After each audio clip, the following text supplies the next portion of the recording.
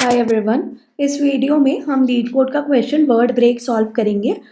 ये क्वेश्चन मुझसे गूगल के स्क्रीनिंग राउंड में पूछा गया था so it is a very important question and it is based on dynamic programming तो पहले हम इसको रिकर्जन से सॉल्व करेंगे and then we will use recursion plus memorization and then we will go to the tabulation form of it okay तो यहाँ पर क्या गिवन है? String s and a dictionary of strings word dict Return true if S can be segmented into a space separated sequence of one or more dictionary words.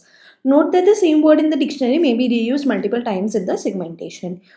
यहाँ पर आपको एक string given है एस और उसकी value क्या है? Leet code ठीक है? आपको इसको इस तरीके से डिवाइड करना है, कुछ स्पेसेस में डिवाइड करना है, ठीक है? Such that different different words बन जाएँगे राइट अगर आप लीड कोड को डिवाइड करोगे तो बहुत सारे वर्ड्स बन सकते हैं। आप यहाँ से डिवाइड कर तो एल बन जाएगा, एक ईट कोड बन जाएगा, ठीक है? ऐसे एक बन जाएगा ली फिर टी कोड बन सकता है, ऐसे ही बन सकता है लीट और फिर कोड बन सकता है, ठीक है? और भी बहुत सारे स्पेसिस में डिवाइड कर सकते हो एल ईट एंड कोड ठीक है? ऐसे बहुत सारे वर्ड्स में डिवाइड हो सकता है, ठीक है? तो आपको वो सारे उस तरीके से डिवाइड करना है सच दैट हर सेगमेंट हर सेगमेंट क्या हो? हर सेगमेंट का जो वर्ड हो वो डिक्शनरी में प्रेजेंट हो। जैसे कि अगर इसमें डिवाइड किया है तो ली भी डिक्शनरी में प्रेजेंट होना चाहिए और टी कोड भी डिक्शनरी में प्रेजेंट होना चाहिए।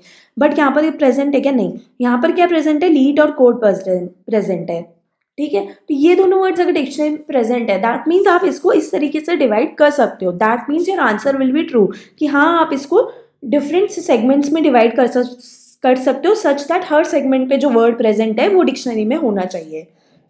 ठीक है? तो आपका आंसर जो होगा, वो ट्रू या फॉल्स में होगा। दैट मीन्स आप स्ट्रिंग को इस तरीके से सेगमेंट्स में डिवाइड कर सकते हो या नहीं कर सकते हो। सच दैट सच दैट हर सेगमेंट का जो वर्ड है, वो डिक्शनरी में प्रेजेंट होना चाहिए। ठीक है? तो एक और एग्ज़ाम्पल ले लेते हैं कोड लीड कोड इसमें अगर आप देखो तो इसमें आप किस तरीके से डिवाइड करोगे? कोड पे डिवाइड करोगे एंड देन लीड पे डिवाइड करोगे. तो यहाँ पर तीन सेगमेंट्स बन गए कोड लीड और कोड ये तीनों ही वर्ड्स डिक्शनरी में प्रेजेंट है एंड अगर आप देखो, ये वाला जो वर्ड है कोड ये दो बार यूज़ हुआ है. तो ये, यही कहना चाह रहा है कि डिक्शनरी का कोई भी वर्ड मल्टीपल टाइम्स यूज़ हो सकता है. That is not a problem ठीक है? तो इसका आंसर भी क्या हो जाएगा? ट्रू हो जाएगा. ठीक है?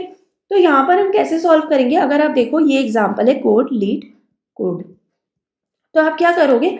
आप सोचोगे कि मैं मेरा पहला स्पेस कहाँ पर लगाऊँ? दैट मीन्स मैं मेरा पहला ब्रेक किधर लगाऊँ? ठीक है? तो मान लीजिए मैंने किसी आयत पोजीशन पे पहला ब्रेक लगा दिया। This is my ith position जहाँ पर मैंने पहला ब्रेक लगाया है। ठीक है? दैट मीन्स ज़ीरो से लेके आई तक मेरा एक वर्ड बन जाएगा। This will be my one word why because आइए, ये मेरा क्या है? पहला ब्रेक है। इसका मतलब कि इससे पहले मैंने कहीं पे भी ब्रेक नहीं लगाया है। तो ज़ीरो से लेके आई तक क्या बन जाएगा? एक वर्ड बन जाएगा। एंड वो वर्ड क्या होना चाहिए? डिक्शनरी में प्रेजेंट होना चाहिए। This word should be present in dictionary otherwise उस ब्रेक का कोई मतलब नहीं है। ठीक है? जैसे कि कोड लीड कोड है। अगर कोड लीड कोड है तो इसमें अगर मैं यहाँ पर ब्रेक लगाऊँ तो पहला वर्ड क्या बनेगा? सी और रिमेनिंग क्या हो जाएगा? ये. तो क्या इसका कोई मतलब है? सी तो डिक्शनरी में प्रेजेंट ही नहीं है। दैट मीन्स यहाँ पर ब्रेक लगाने का कोई सेंस नहीं है। तो मैं क्या करूँगी? एक एक पोजीशन पे जाके चेक करूँगी कि कहाँ पर सेंस बन रहा है। तो मुझे पता लगेगा कि यहाँ पर सेंस बन रहा है, ठीक है? तो कोड एक वर्ड आ रहा है जो डिक्शनरी में प्रेजेंट है। ठीक है? तो ये मैं निकाल लूँगी। यहाँ पर अब मैंने स्पेस लगा दिया। ठीक है? अब मुझे क्या करना है? अब मुझे रिमेनिंग वाली स्ट्रिंग से चेक करना है कि मैं इसको किस तरीके से डिवाइड कर सकती हूँ। इसको किस तरीके से डिवाइड कर सकती हूँ। ठीक है? तो मैं सेम चीज़ अब मैं क्या करूँगी? Same process same process for remaining string same process for remaining string remaining string मेरी क्या हो जाएगी अब? लीड कोड ठीक है? अगर मैंने यहाँ पर ब्रेक लगा दिया पहला तो अब मेरी रिमेनिंग स्ट्रिंग क्या हो जाएगी? लीड कोड अब इस लीड कोड पे मुझे क्या देखना है? अगेन मुझे इस स्ट्रिंग का पहला ब्रेक देखना है। तो इस स्ट्रिंग का पहला ब्रेक मैं क्या लगाऊँगी? यहाँ पर लगाऊँगी। ठीक है? तो मुझे क्या वर्ड मिलेगा? लीड मिलेगा। तो मैं देखूँगी कि यार, ये वाला जो वर्ड है, ये डिक्शनरी में भी प्रेजेंट है दैट मीन्स मैं यहाँ पर ब्रेक लगा सकती हूँ।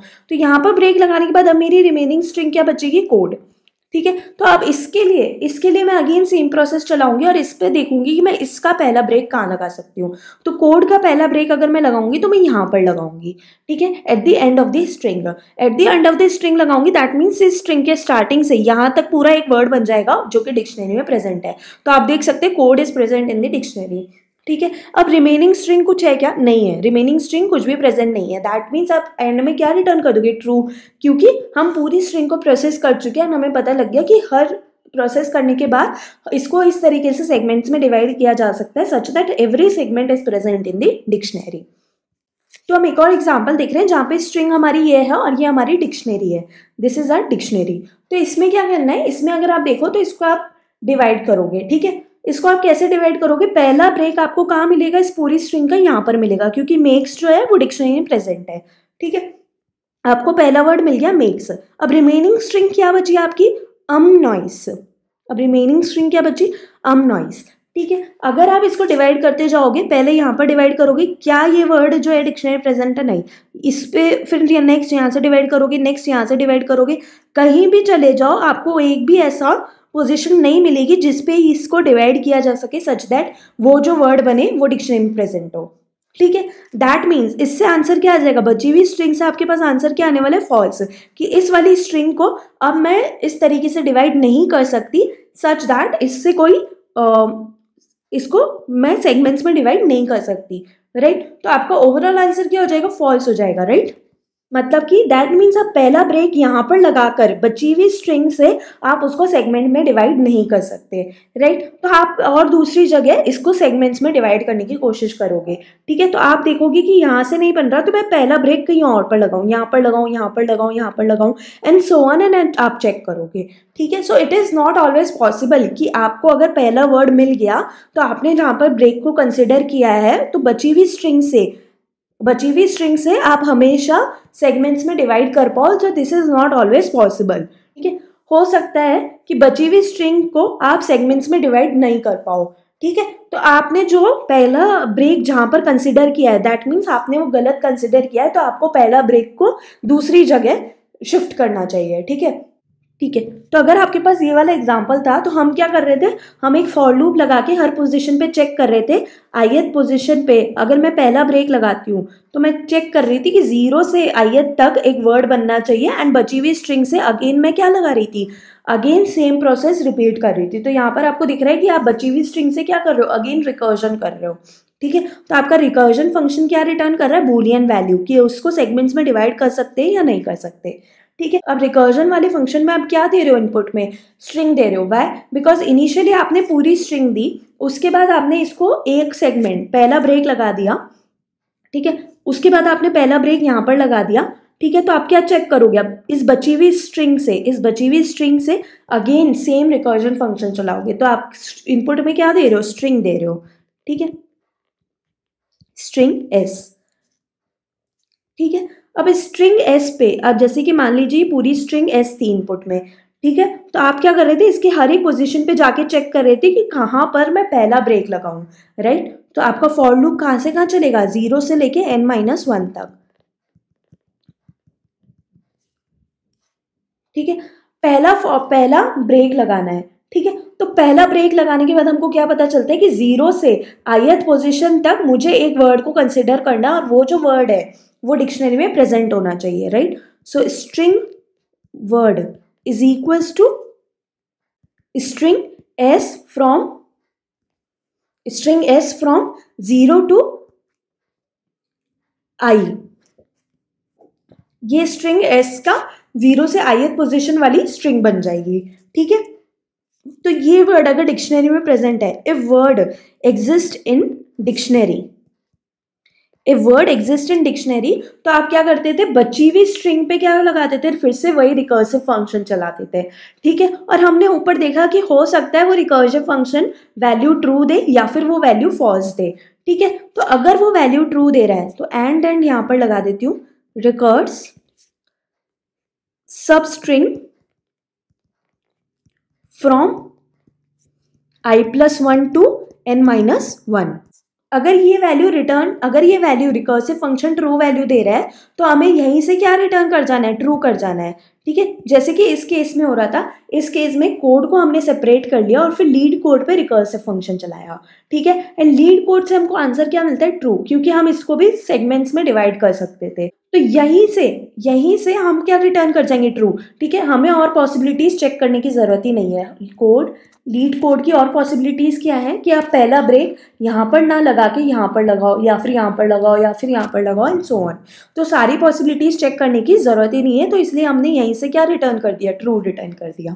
Right right? और अगर ऐसा एक भी पॉइंट नहीं आया, जब आप रिटर्न ट्रू कर रहे हो तो एंड में मीन्स आपको क्या रिटर्न करना है? फॉल्स रिटर्न करना है. ठीक है? So your ending statement will be return false ठीक है? तो यहाँ पर आपको समझ आया कि मैंने एंड एंड करके रिकर्ड्स क्यों लिखा? ताकि ताकि अगर मेरा ये वाला वर्ड जो है डिक्शनरी में एग्जिस्ट कर रहा है एंड दिस एंड बची हुई स्ट्रिंग से भी अगर मैं इसको सेगमेंट्स में डिवाइड कर पाऊँ तो मुझे आंसर यहीं से क्या रिटर्न कर जाना है? ट्रू रिटर्न कर जाना है। और अगर बची हुई स्ट्रिंग को अगर मैं सेगमेंट्स में डिवाइड नहीं करती हूँ तो मुझे क्या करना है? और पॉसिबिलिटीज चेक करनी चाहिए। ठीक है? इसमें आपका फाइनल आंसर क्या होगा? Your final answer will be recurs on the whole initial substring. Recurs on the whole initial string. ठीक है? इनिशियल स्ट्रिंग पे आपको क्या लगाना है? रिकर्स फ़ंक्शन लगाना है बिकॉज़ इनिशियल स्ट्रिंग को ही आपको क्या करना है? सेगमेंट्स में डिवाइड करना है. Okay okay? इसकी टाइम कॉम्प्लेक्सिटी अगर हम देखें तो क्या हो जाएगी? टू की power n big O of two की पावर एन वाई तो यहाँ पर आप देख सकते हो, ये आपका क्या है? पूरी स्ट्रिंग है.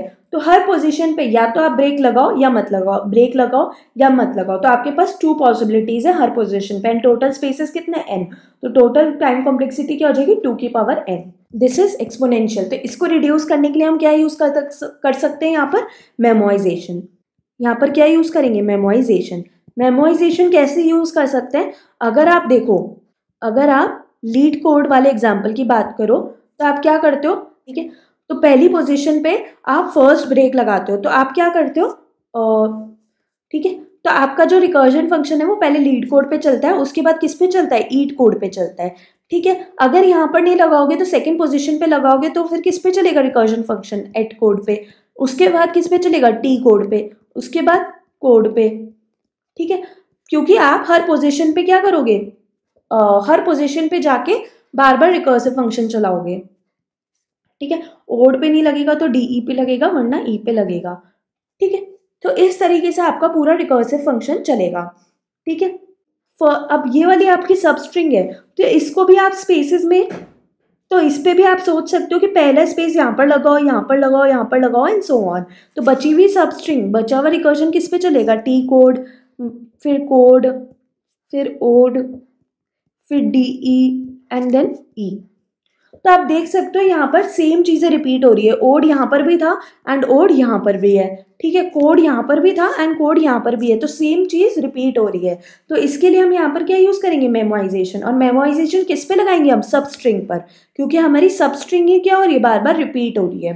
ठीक है? So memoization on the string so memo of s ठीक है? तो जैसे ही आपके पास कैलकुलेट हो जाएगी वैल्यूज़ आप उसको memo of that particular string में स्टोर कर लेंगे right so memo of s is equals to true and from here return true ठीक है? Otherwise memo of s is equals to false right and initially आप यहाँ पर check कर लोगे कि if memo of s is not equals to minus one then return return memo of s. That means वो value पहले से calculated है, ठीक है? और उसकी वैल्यू माइनस वन के बराबर नहीं है दैट मीन्स वो वैल्यू पहले से कैलकुलेटेड है एंड उसी वैल्यू को हमको रिटर्न कर देना चाहिए राइट right? और यहाँ पर मेमोइजेशन में हमने कैलकुलेटेड वैल्यूज़ को स्टोर कर लिया।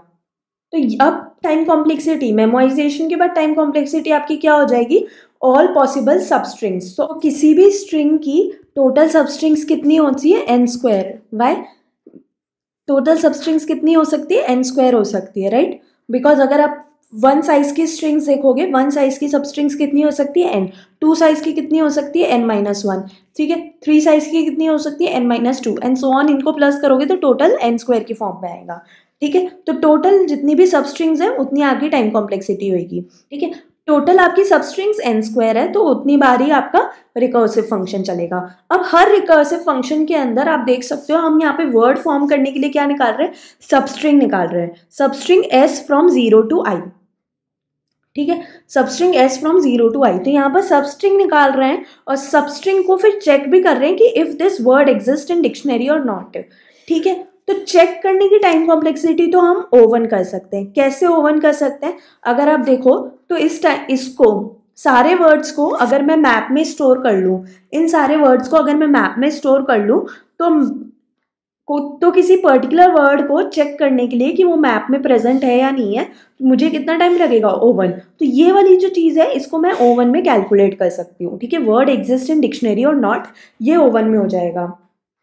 ठीक है?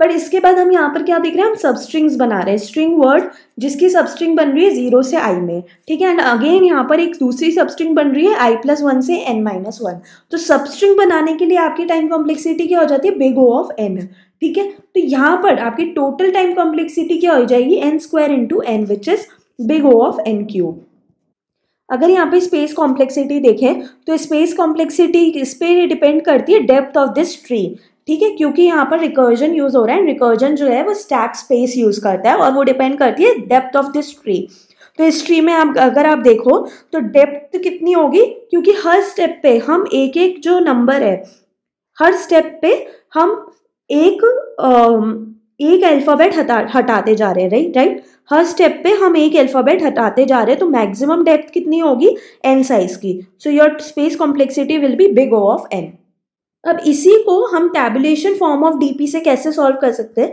टैबुलेशन डीपी से हम कैसे सॉल्व कर सकते हैं? लेटस सी तो हमारा सबसे पहला स्टेप क्या होता है? टू आइडेंटिफाई दी सब प्रॉब्लम तो रिकर्जन में हमने देखा था रिकर्जन के टाइम हमने देखा था, हम रिकर्जन फ़ंक्शन किस पे चला रहे हैं? सब स्ट्रिंग पे चला रहे हैं, ठीक है? तो सब स्ट्रिंग किससे रिप्रेजेंट हो सकती है? आई पोजिशन से. ठीक है? दैट मीन्स आई पोजिशन से लेके n minus one th position तक क्या मैं इसको सेगमेंट्स में डिवाइड कर सकती हूँ या नहीं? Okay okay? तो आपकी सब प्रॉब्लम क्या होगी? DP of i this represents this represents that if it is possible if it is possible to make segments, to make segments from i to n minus one th i to n minus one वाली string से क्या मैं इसको segments में divide कर सकती हूँ या नहीं? ये वैल्यू किसमें प्रेजेंट है? डी पी ऑफ़ आई में।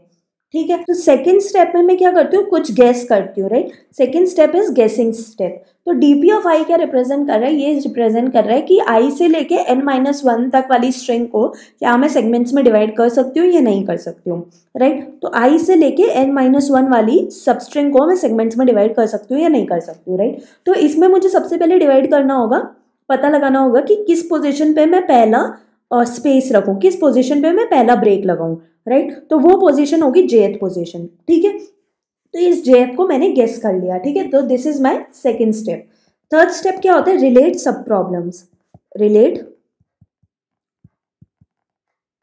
सब प्रॉब्लम्स तो आपका जो जेथ है, वो कहाँ से कहाँ वेरी करेगा? जेथ जो है, वो आई से लेके एन माइनस वन तक वेरी करेगा राइट ठीक है? आपका जो जे है, वो आई से लेके एन माइनस वन तक वेरी करेगा, ठीक है? तो आपने क्या कर लिया? DP of i is equals to क्या हो जा रहा है? इज़ इक्वल्स टू क्या हो जाएगा? अगर मैंने किसी जेथ पोजिशन पे पहला ब्रेक लगाया है फॉर दिस सबस्ट्रिंग आई से लेके एन माइनस वन वाली सबस्ट्रिंग पे पहला ब्रेक इस जेथ पोजिशन पे लगा है। दैट मीन्स इससे एक वर्ड बना होगा। आई से लेके जेथ वाले से एक वर्ड बना होगा राइट सो वर्ड वर्ड बना होगा आई से लेके जे तक, ठीक है? ठीक है? तो ये वर्ड जो होना चाहिए डिक्शनरी में क्या होना चाहिए? एग्जिस्ट करना चाहिए।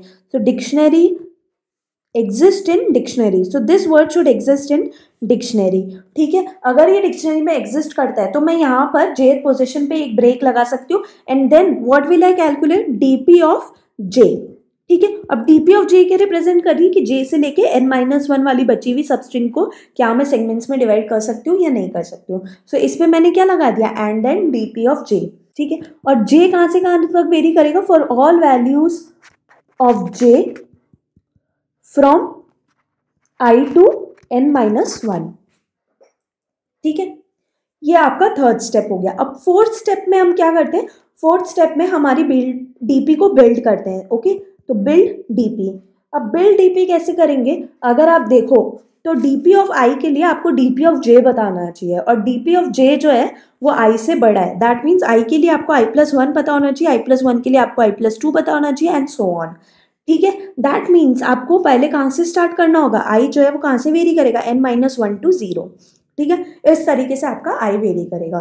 तो स्टार्टिंग में आपको क्या बताना चाहिए? DP of n DP of n क्या डिनोट कर रहा है? कि आपकी जो इनिशियल स्ट्रिंग है, ये स्ट्रिंग इसके बाद भी कोई एक स्ट्रिंग प्रेजेंट है, कोई एक लेटर प्रेजेंट है एंड उससे मैं अगर एंड उससे क्या मैं सेगमेंट्स में डिवाइड कर सकता हूँ या नहीं कर सकता हूँ? तो एम है तो आप उसको सेगमेंट्स में डिवाइड कर ही सकते हो right so D P of n is always true ठीक है? तो इस तरीके से आपकी डीपी बिल्ड हो जाएगी। अब फिफ्थ स्टेप में आपको बताना होता है फाइनल आंसर या फिर आपका एक्चुअल क्वेश्चन एक्चुअल आंसर जो था एक्चुअल रिज़ल्ट जो है, वो आपको बताना होता है। तो आप देख सकते हो, आपका जो आई है, वो क्या डीपी ऑफ़ आई क्या रिप्रेजेंट कर रहा है कि इस आई एच से लेके एन माइनस वन तक का स्ट्रिंग को क्या मैं सेगमेंट्स में डिवाइड कर सकती हूँ या नहीं? तो इनिशियल स्ट्रिंग जो है, वो ज़ीरो से बिगेन हो रही होगी तो zero DP of zero is your final answer DP तो यहाँ पर आप देख सकते हो, पहला एक फॉर लूप चलेगा इंट आई का जो चलेगा एन माइनस वन से ज़ीरो तक.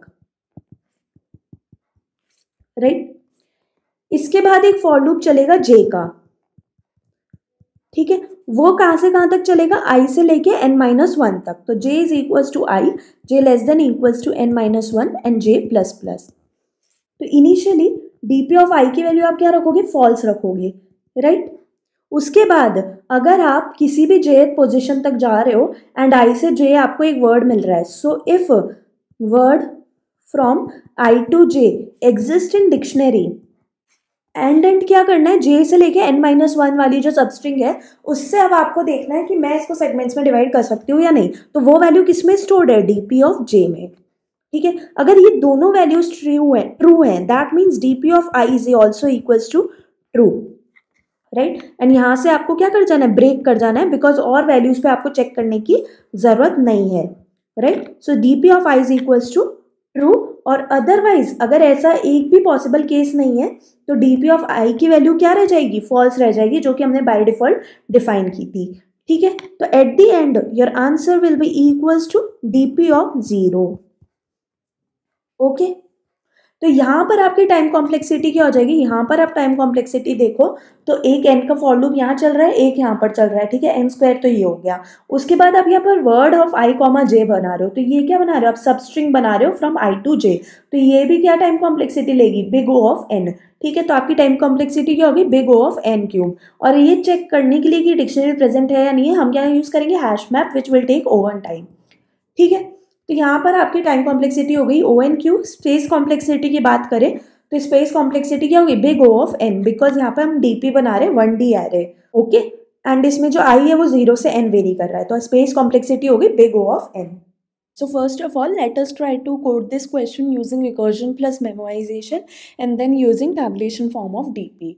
तो सबसे पहले हम यहाँ पर क्या करेंगे? हर वर्ड को हमें क्या करना है? डिक्शनरी में चेक करना है, ताकि हम पता लगा पाए जो हमने सेगमेंट काटा है।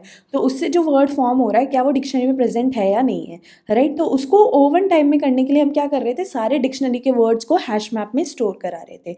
राइट तो सबसे पहले मैं यहाँ पर एक मैप बना लेती हूँ। Map of map of string comma int okay let me call it dictionary okay अगर कोई स्ट्रिंग अगर कोई string that means that mean कोई वर्ड डिक्शनरी में प्रेजेंट होगा तो उसकी इंटीजर वैल्यू क्या होगी? One otherwise that value will be zero okay so for int i is equals to zero i less than word dict dot size i plus plus ठीक है? इसको map में डालने के लिए मैं क्या करूँगी? uh, इसको मैप में डालने के लिए क्या करूँगी? Dict of word dict at current ith index ये आपकी स्ट्रिंग हो गई और इस स्ट्रिंग की वैल्यू मैं क्या कर दूँगी? वन कर दूँगी। ठीक है? That means it is present in the map अब मैप बनाने के बाद हम क्या कर रहे थे? रिकर्स फ़ंक्शन चला रहे थे। ठीक है? और रिकर्स फ़ंक्शन क्या रिटर्न कर रहा था? Boolean value and at the end हमको वही वैल्यू रिटर्न करनी है। So recurse okay so return recurse अब रिकर्स फ़ंक्शन में हम इनपुट में क्या दे रहे थे? स्ट्रिंग दे रहे थे, जिस स्ट्रिंग पे हमको वर्ड ब्रेक करने हैं। ठीक है? तो इनिशियली हमारी स्ट्रिंग पूरी इनपुट में देंगे दैट इज़ पूरी एस स्ट्रिंग को हम इनपुट में दे देंगे। ठीक है? नाउ नाउ आपका रिकर्स फ़ंक्शन लिखते हैं रिकर्स ठीक है? इसमें हम क्या इनपुट में दे रहे हैं? स्ट्रिंग एस ठीक है? स्ट्रिंग एस को हमने इनपुट में दिया। ठीक है? तो सबसे पहले स्टेप हम क्या कर रहे थे? हम स्ट्रिंग एस की हर एक पोजीशन पे जाकर देख रहे थे कि क्या इस पोजीशन पे मैं पहला ब्रेक दैट मीन्स पहला स्पेस लगा सकती हूँ या नहीं लगा सकती हूँ right so for in i is equals to zero i less than s dot size i less than s dot size i plus plus ठीक है? अब हर एक आयत पोजीशन पे जाके मैंने क्या लगाना है? मैंने एक फॉर स्पेस, फ़र्स्ट स्पेस लगाना है। तो इसका मतलब क्या हो जाएगा? ज़ीरो से लेके इस आयत पोजीशन तक एक वर्ड बन जाएगा। ओके तो उसका नाम मैं रख देती हूँ word is equals to s dot substring ठीक है? सबस्ट्रिंग जो हो जाएगी, वो कहाँ से कहाँ तक हो जाएगी? ज़ीरो से इस आयत पोजीशन तक। ठीक है? तो ज़ीरो से लेके इस आयत पोजीशन तक। तो सबस्ट्रिंग वाले जो फ़ंक्शन में है हमें क्या पास करना होता है? Starting index and the length of the substring ठीक है? Starting index and the length of the substring मैं यहाँ पे लिख देती हूँ starting index comma length of the substring तो यहाँ पर लेंथ क्या हो जाएगी? आई प्लस वन के बराबर, ठीक है? तो यहाँ पर मैंने आई प्लस वन डाल दिया। तो इससे आपको सबस्ट्रिंग मिल जाएगी। This substring will be this substring will be the substring from zero to i तो ये आपको सबस्ट्रिंग मिल गई। दिस डिनोट्स कि यहाँ से एक वर्ड फॉर्म हो गया। मुझे क्या चेक करना है कि ये वर्ड डिक्शनरी में प्रेजेंट है या नहीं है? सो so, इफ़ अब मैं मैप से आराम से चेक कर सकती हूँ। Dict word is equals to one that means ये डिक्शनरी में प्रेजेंट है। एंड एंड मुझे क्या करना है? रिकर्सिव फ़ंक्शन चलाना है। अगेन द रिमेनिंग स्ट्रिंग तो रिमेनिंग स्ट्रिंग क्या बचेगी आपकी? आपकी रिमेनिंग स्ट्रिंग जो बचेगी वो बचेगी s dot substring from i plus one से बची हुई लेंथ की, ठीक है? तो आई प्लस वन से अब बची हुई लेंथ कितनी हो जाएगी? आई प्लस वन से एन माइनस वन वाली, ठीक है? तो बची हुई लेंथ कितनी हो जाएगी? एन माइनस, ठीक है? तो बची हुई लेंथ कितनी हो जाएगी? साइज़ में से मैं आई रिमूव कर दूँ। साइज़ में से अगर मैं माइनस आई माइनस वन कर दूँ तो मुझे क्या मिल जाएगी? बची हुई लेंथ मिल जाएगी। ओके तो इससे आपको बची हुई सबस्ट्रिंग मिल जाएगी एंड इस सबस्ट्रिंग पे आपको अगेन रिकर्सिव फ़ंक्शन चलाना है और अगर वो रिटर्न ट्रू करे, अगर वो ट्रू रिटर्न कर रहे दैट मीन्स इसलिए हमने यहाँ पर क्या लगाया? एंड एंड लगाया। तो अगर वो भी रिटर्न वैल्यू ट्रू अगर वो भी रिटर्न ट्रू करे और डिक्शनरी में ये वर्ड भी प्रेजेंट हो तो आप यहीं से रिटर्न ट्रू कर जाओ। Otherwise you have to return false तो यहाँ पर मैप तो यहाँ पर रिकर्सिव फ़ंक्शन में मैंने डिक्ट को पास कर दिया because this is the map जिसको हम यहाँ पर यूज़ कर रहे हैं। ठीक है? उसके बाद मुझे क्या करना है? उसके बाद अगर आप देखो तो आप ये, आपको एक कंडीशन चेक करनी होगी कि अगर आपकी स्ट्रिंग की लेंथ ज़ीरो है if s dot length is equals to zero तो इस केस में आपको क्या रिटर्न करना चाहिए? ट्रू रिटर्न करना चाहिए राइट बिकॉज़ इस वाली सेगमेंट को, ये वाली जो सेगमेंट है, इसको आप डिक्शनरी में फाइंड कर सकते हैं एंड इसको आप डिवाइड भी कर सकते हैं। ओके? तो इस केस के लिए आपने रिटर्न ट्रू करा है। Let us try to run this okay? All the test cases got passed ठीक है? बट यहाँ पर आप देख रहे हो कि ये रिकर्सिव फ़ंक्शन है और इसकी जो टाइम कॉम्प्लेक्सिटी होगी वो एक्सपोनेंशियल होगी तो हम यहाँ पर मेमोइजेशन यूज़ करते हैं। ठीक है? तो मेमोइजेशन हम किस पे करें स्ट्रिंग पे कर रहे हैं। ठीक है? रिकर्सिव फ़ंक्शन में बार बार क्या हो रही है? स्ट्रिंग पुट हो रही है। दैट मीन्स बहुत सारी जो सब स्ट्रिंग्स है वो रिपीट हो रही है। तो मेमोराइज किस पे करना है? स्ट्रिंग पे। ठीक है? सो so, यहाँ पर एक मैप बना लेते हैं। Map of string comma int and इसको नाम दे देते हैं मेमो ठीक है? इसको भी मैं यहाँ पर पास कर देती हूँ। ओके रिकर्सिव फ़ंक्शन में मैंने इसको भी पास कर दिया। ठीक है? अब मुझे इसमें वैल्यू स्टोर करानी है तो मैं किस तरीके से स्टोर कराऊँगी? इस केस के लिए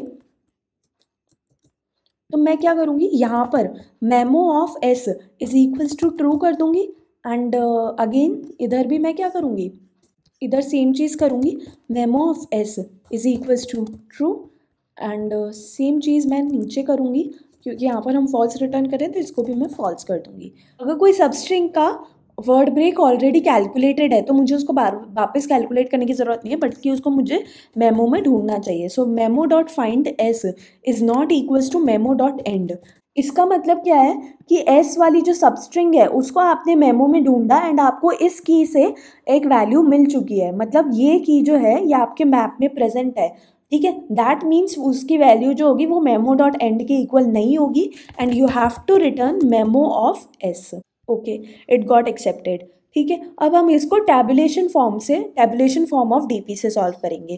तो टैबुलेशन फॉर्म ऑफ़ डीपी से सॉल्व करने के लिए मैं ये वाला पार्ट कमेंट आउट कर देती हूँ और ये वाला पार्ट कमेंट आउट कर देती हूँ। उसके लिए भी क्योंकि हमें मैप की तो ज़रूरत पड़ेगी in which in that map we have stored all the dictionary words ठीक है तो अब टैबुलेशन फॉर्म ऑफ़ डीपी के लिए हम क्या कर रहे थे? एक इंट डीपी डिक्लेयर कर रहे थे।